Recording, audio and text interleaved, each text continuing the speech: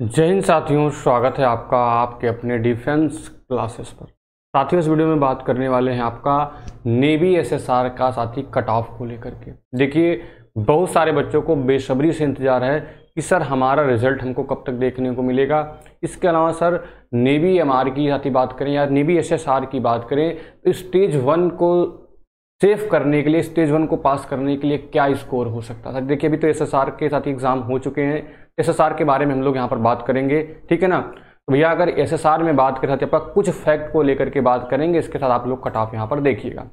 पहले साथ, बात करें आप लोगों से कुछ स्टेट के बारे में, जहाँ के साथ कट ऑफ़ थोड़ा सा हाई जाती है। अगर यहाँ पर मैं आप लोगों से बात करूँ, एक बार सारे बच्चे यहाँ पर देखने का प्रयास करिएगा। आप लोगों को बहुत ही बेसब्री से इंतज़ार था कि सर हमारी कट ऑफ़ क्या जा सकती है साथी तो आप लोग यहाँ पर देखिए अच्छे से। ठीक है भैया? कि अगर बात करूँ आप लोगों से, पहले है आपका यहाँ पर उत्तर प्रदेश को लेकर के। उत्तर प्रदेश हो गया साथी आपका। दूसरा आती अगर बात करें आपका, हरियाणा हो गया।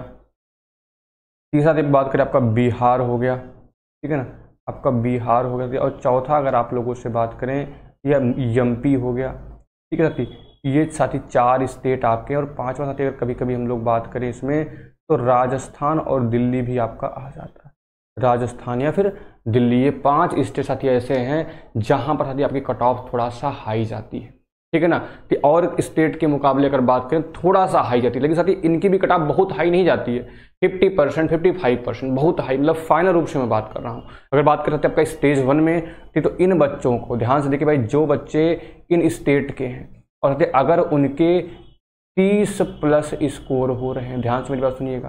तीस प्लस अगर आप स्कोर कर रहे हो तो निश्चित रूप से भैया आपके पेपर को देखते हुए आपको सेकेंड स्टेज की तैयारी आपको स्टार्ट कर देनी चाहिए, क्योंकि आपको पता भाई आपका रिज़ल्ट 15 से 20-22 दिनों के अंदर आपके सामने होगा और ज़्यादा समय आपको मिलने वाला नहीं है स्टेज टू के लिए। फिर मैं आपसे कह रहा हूँ भाई, अगर आपके 30 प्लस स्कोर, देखिए भाई इस बार आपका जीके थोड़ा सिंपल आ रही है, इंग्लिश आपका सिंपल आ रही है, ठीक है ना? लेकिन साथ ही अगर मैं बात करूँ आपसे, मैथ हो गई, आपका साइंस हो गया, थोड़ा सा अच्छे लेवल की आ रही है। तो इसलिए आपसे कहूँगा कि अगर इन स्टेट से आप हो, आपके तीस प्लस स्कोर हो रहे हैं ठीक है एस के अंदर तो अपनी तैयारी स्टेज टू के लिए स्टार्ट कर दो। कि अगर बात करें आपका कुछ अन्य स्टेट को लेकर अगर बात करें यहाँ पर, जैसे मान लीजिए आपका असम हो गया, ठीक है भाई, आपका यहाँ पर असम हो गया, साथी आपका महाराष्ट्र हो गया, ठीक है एमपी आपका बात करिए एम यानी महाराष्ट्र हो गया, साथी आपका केरला हो गया, ठीक है, आपका भाई गुजरात हो गया, ठीक है इसके अलावा आपका बात करें, साथी आपका त्रिपुरा हो वगैरह थी आपके जो अन्य स्टेट है भैया।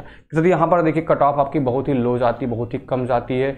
यहाँ पर जिन बच्चों का 25 प्लस स्कोर है भाई, वो अपने स्टेज टू की तैयारी कर सकते हो। क्योंकि आपका यहाँ पर देख भी स्टेज वन की बात मैं कर रहा हूँ। और स्टेज टू की साथ आपका अगला एग्ज़ाम होता थी उससे आपकी मेरिट बनती है और वही आपके लिए मेन रहने वाला है। ठीक है भाई, इस एग्ज़ाम से आपको तो कट ऑफ़ क्लियर करके आप आगे जा सकते हो। लेकिन भाई, जो आपका अंतिम सिलेक्शन दिलवाएगा, जिसमें जो आपके मेरिट में काउंट होगा, भैया वो स्टेज टू है। मैं आप सारे बच्चों से बार बार कहूँगी और आपका देखिए, अगर इस साल में बात करें तो कम से कम साथी आपका ट्वेंटी टू थाउज़ेंड प्लस बच्चों को इस बार आपको क्वालिफाई किया जाएगा। मैं आप सारे बच्चों से कहना चाहता हूँ कि सभी साथी बढ़िया तरीके से स्टेज टू की तैयारी में लग जाओ, जिनके भैया स्कोर इससे ज़्यादा आ रहे हैं। ठीक है ना? सभी साथियों से कहना चाहूँगा, भैया, देखो पेपर साथी आपका जितना भी सिंपल हो भाई, जितना भी आपको इजी लग रहा हो, लेकिन आप मान के लिए भाई, इससे ज़्यादा कट ऑफ़ आपकी नहीं रहेगी स्टेज वन के लिए। ठीक है ना?